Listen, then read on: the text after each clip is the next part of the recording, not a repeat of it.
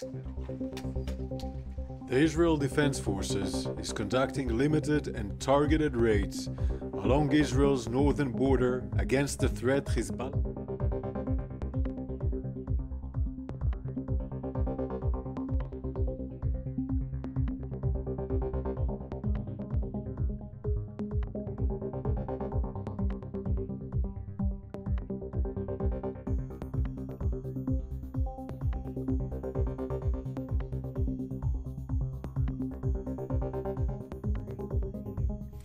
I eventually chose freedom over unrealizable justice after being detained for years and facing a 175 year sentence with no effective remedy.